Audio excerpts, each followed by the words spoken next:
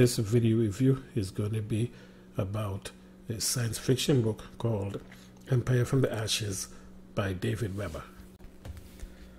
The name Empire from the Ashes is the name of the omnibus reissue that was published in 2003. It contains a trilogy.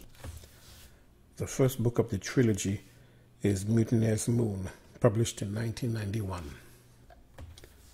The second is The Armageddon Inheritance, published in 1993. The last is Heirs of the Empire, published in 1996. There are five main events that underlie the story in this novel. First, the moon is hollow. It is a spaceship that has been in orbit for over 50,000 years. Second, humans are not originally from Earth. They got to Earth on the spaceship that's now the moon. Third, the reason humans got stranded on Earth is because there was a mutiny that took place on the ship 50,000 years ago. Fourth, there is an alien menace that is going around the galaxy killing all life that they meet and they're headed this way. And fifth, humans were part of an empire, an interstellar empire that collapsed thousands of years ago. In Mutineer's Moon, the story opens up 51,000 years in the past. There is a mutiny happening on the Imperial capital ship Dahak, which is in orbit around Earth. The captain floods the ship with radioactive gas, causing loyalists and mutineers alike to flee down to Earth. The story then jumps to the present. The protagonist is Colin MacIntyre, who is a lieutenant commander in NASA, who is testing a new deep space craft on the far side of the moon.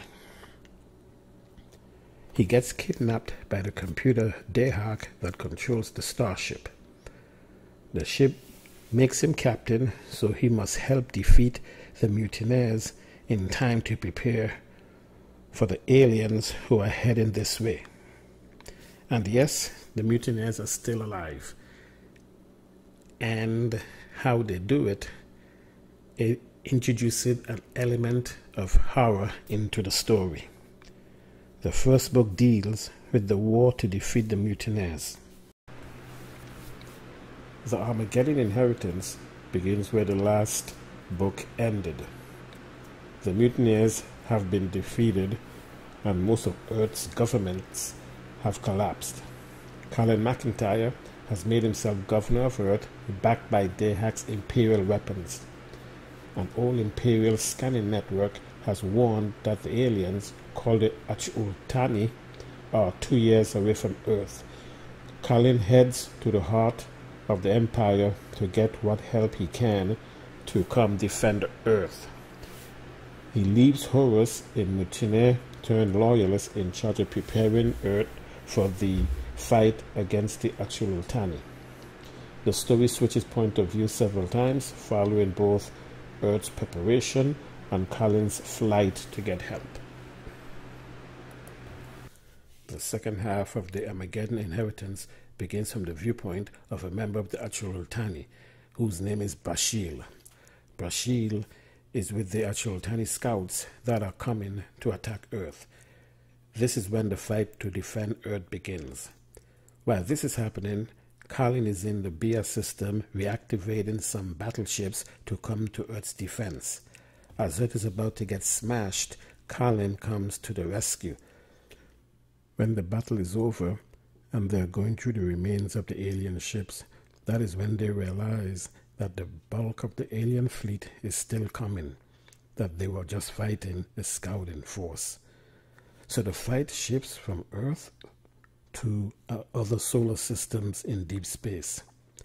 By the end of the book, Earth is safe for the time being, but the threats still exist out there. The final book in the series, Heirs of Empire, opens up following the kids of Colin and Jiltanith and their friends. They're about eight years old when the story begins. It sets up the storyline that will develop later in the book, such as there is someone who is trying to overthrow the emperor and empress who worked for the mutineers. Oh, did I mention that Colin became emperor in the last book? Well, he did. He got married, had twins by the end of the book. Anyway, after that, the story jumps about 10 years, and the twins and their friends are at the academy. The person who is trying to overthrow their parents tries to kill them, but he fails. And his attempt ends up sending them and marooning them on a distant planet.